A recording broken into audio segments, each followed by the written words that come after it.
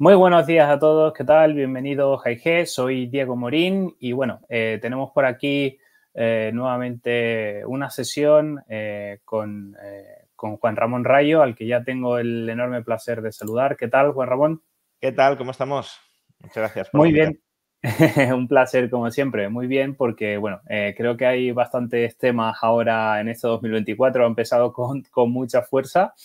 Y nada, en estas sesiones que, estamos realizando contigo, pues bueno, quería ya pues arrancar sobre una de las noticias que ha tenido eh, mucha relevancia en los últimos días, pero sobre todo también en la última parte del año, como es esa eh, situación y aprobación ¿no? del ETF del Bitcoin por parte de la SEC. Se filtró eh, el, martes pasado con ese famoso tweet ¿no? que, sufrió un hackeo. Posteriormente ya hemos visto que grandes fondos de inversión están detrás.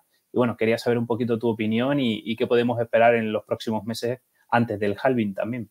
Claro, em, es un tema interesante, ¿no? Porque, digamos, una tesis mayoritaria de mercado es que eh, Bitcoin va a subir gracias a la aprobación del ETF. Y, sí, es, probable que, suceda porque la aprobación del ETF va a rebajar los costes de transacción para muchísima gente de adquirir o de estar expuestos a Bitcoin, porque, bueno, más o menos casi todo el mundo, muchísima gente sabe que existe, pero a lo mejor no sabe exactamente cómo ha de adquirir Bitcoin, cómo ha de, poseer Bitcoin, porque son inversores más tradicionales, que no han entrado ni mínimamente en, este, en el aprendizaje que, requiere em, este mundo y por no querer cruzar esa barrera de aprendizaje quizás hayan quedado fuera, en cambio con un ETF se sientan más cómodos o estén más acostumbrados a ello y por tanto puedan tener exposición indirecta en Bitcoin a través del ETF. Por tanto, si bajas costes de transacción, tiene sentido que aumenten eh, o aumente el flujo de capitales que va hacia una determinada inversión. Pero yo creo que em, no deberíamos, porque eh, expuesto así parece como que le hayan hecho un favor a Bitcoin y que políticamente o de manera arbitraria hayan dicho, oye, vamos a, reventar el precio de Bitcoin al alza y vamos a aprobar el ETF para que el precio de Bitcoin suba. Yo creo que la aprobación del ETF, o más bien el planteamiento de que haya un ETF de Bitcoin y luego la aprobación, es un síntoma de que existe una demanda potencial muy grande de Bitcoin. Em, es decir, no es que el ETF genere esa demanda potencial. Esa demanda potencial está ahí, no estaba siendo satisfecha y el ETF aparece como un instrumento para satisfacerla y canalizarla. No se crea un ETF de cualquier cosa. No van a crear un ETF de cualquier, eh, como dice la comunidad Bitcoin, de cualquier shitcoin. No, es decir, se crean ETFs de aquello que los fondos esperan que vaya a tener una aceptación más o menos masiva y al crearlo, pues esa aceptación masiva eh, se canaliza hacia él, ¿no? Es como decir, no es que hemos sacado a la venta un modelo de vehículo y como lo hemos sacado a la venta, se vende. No, a ver, lo sacas a la venta porque hay una expectativa de que se va a vender y hay una expectativa de que se va a vender porque se cree que hay una demanda subyacente muy fuerte. Con lo cual, que exista ya un ETF de Bitcoin, más allá de que abarate los costes de transacción, es un síntoma o la constatación definitiva de que Bitcoin se ha convertido en un activo propio, en una categoría de activo dentro de la, cartera de inversores, de inversiones, perdón, de cualquier inversor y por tanto mm, que, ha venido o que ha llegado para quedarse, que no es algo eh, fugaz que vaya a desaparecer, hombre, ya después de 15 años ya nos lo podríamos barruntar, pero desde luego que se convierta en el objeto de un ETF, pues constata totalmente eh, eso. Perfecto. Y bueno, eh, esta semana estamos pues con eh, esa expectativa de todo el debate que se está abriendo en el foro de Davos. Eh, en, próxima, no sé si es hoy, intervendrá la presidenta del, Banco Central Europeo, Christine Lagarde. pero ayer hacía unas declaraciones sobre posibles recortes de tipo antes del verano, ¿no? ya hemos visto el final del año donde se hablaba el último trimestre de recortes antes de, lo esperado, o así lo interpretado ¿no? el mercado, que, lo hablamos en la última entrevista. Y bueno, esto ha pasado justo cuando la inflación en, la zona euro vuelve a rebotar, ¿no? Está teniendo como ese efecto escalera em, del que tanto tiempo pues, se, ha ido hablando. ¿Crees realmente que, que, se va a atrever el Banco Central Europeo y el resto de bancos centrales de recortar estos tipos?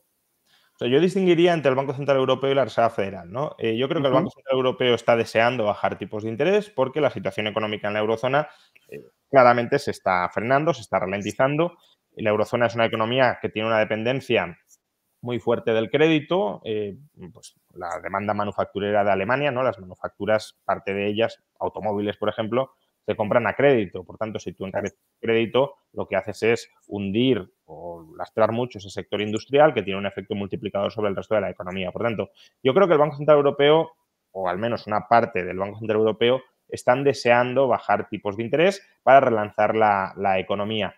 El eh, problema es que, claro, para bajar tipos de interés, especialmente el Banco Central Europeo, eh, tiene que quedar muy claro que la batalla contra la inflación se ha ganado y digo especialmente el Banco Central Europeo porque no olvidemos que tiene un mandato único, que es luchar contra la inflación. Y si la inflación pues no vuelve al objetivo a medio plazo del 2%, estatutariamente tienen muy complicado justificar una bajada al menos contundente. Siempre podrían decir que bueno, que eh, lo bajan 25 puntos básicos para ajustar algo, pero que se van a mantener altos mientras la inflación eh, no, no vuelva al 2. Vale, pero una, senda de bajadas de tipos continuadas, si la inflación no se ha controlado, va a ser muy complicado que la puedan justificar.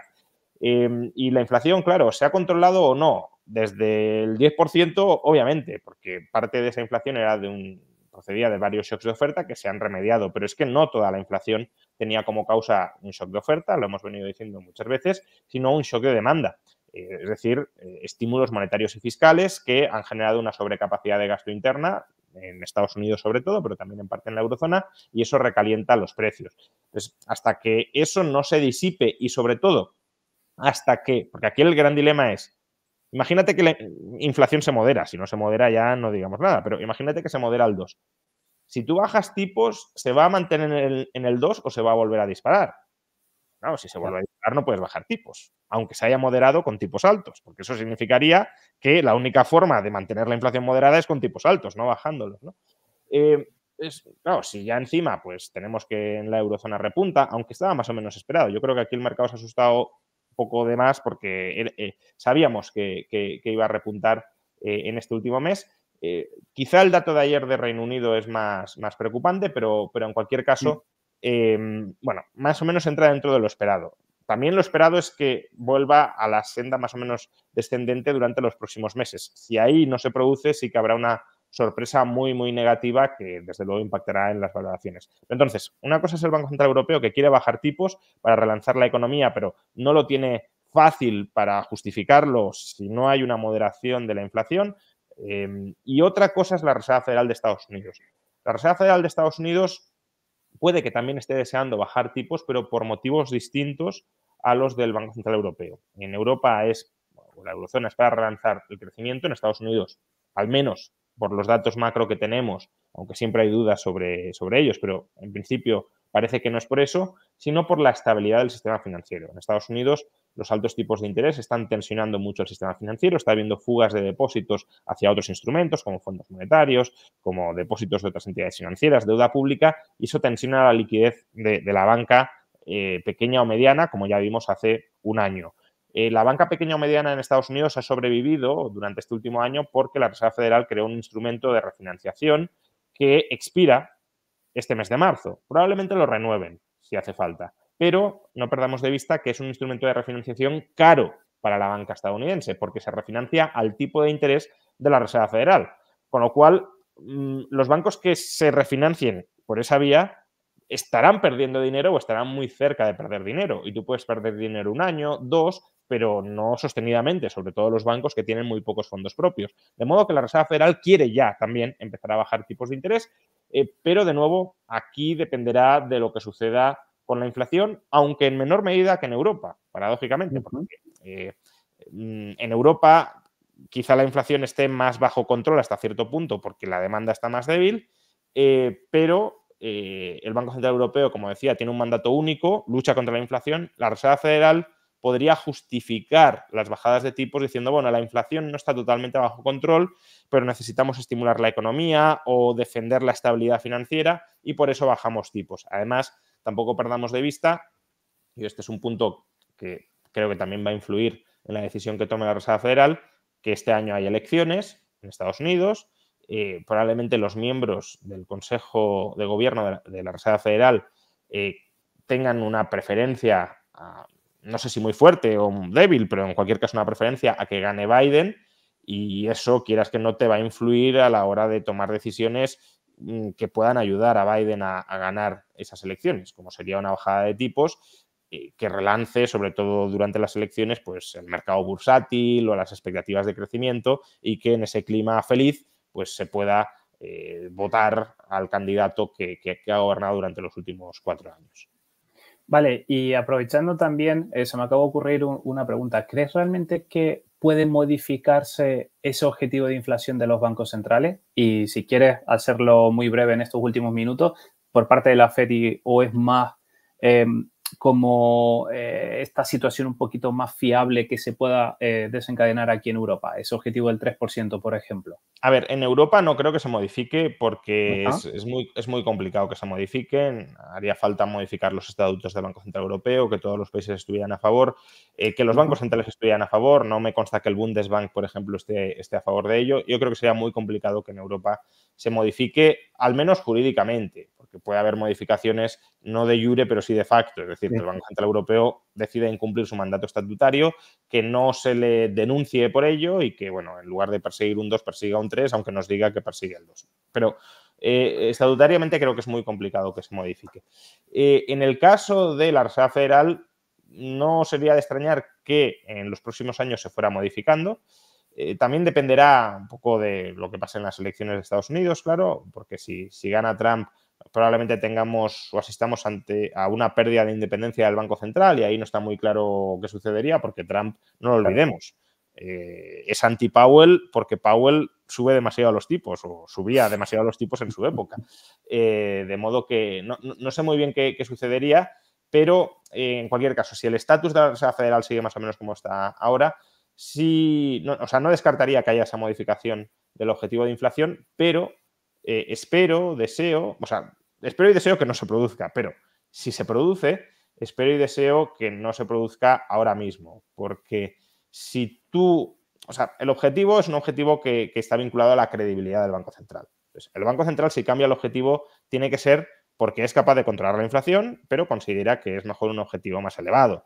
Si ahora cambiara el objetivo antes de haber cumplido su antiguo objetivo del 2% de manera más o menos contundente y estable, todos interpretaríamos que lo está cambiando no porque crea que sea mejor, sino porque es impotente. Y si el Banco Central es impotente a la hora de controlar la inflación a un nivel del 2%, pues eso lo que señaliza es que hay otros factores que están dominando la política monetaria, por ejemplo, la política fiscal, no puedo subir demasiado los tipos porque eso encarece el coste de la deuda pública estadounidense y nos aboca a mayor inflación o a una crisis fiscal, o el sistema financiero, no puedo subir tipos porque me preocupa más el sistema financiero que la estabilidad del, poder adquisitivo de mi moneda. Y eso socava la independencia y la credibilidad institucional del Banco Central y, creo que no sería positivo que, ahora, pues eso, eh, para justificar una bajada de tipos ante la incapacidad de rebajar más la inflación eh, y de aguantar estos tipos de interés actuales, pues el Banco Central dijera, pues, eh, nos, resignamos y vamos hacia un objetivo de inflación del 3 o del 3,5%. Perfecto, pues eh, como siempre, Juan Ramón, un placer tenerte por aquí. Muchas gracias por toda tu, tu opinión y nos vemos próximamente. Nada, muchísimas gracias a vosotros como siempre y nos vemos pronto. Cuídate. Bueno, pues aquí tenemos eh, la entrevista que le hemos realizado a Juan Ramón. Como siempre les digo, eh, manténganse informados activando la campanita para seguir eh, informados de todo lo relacionado con, con, los mercados y nos vemos próximamente. Un saludo a todos y feliz semana.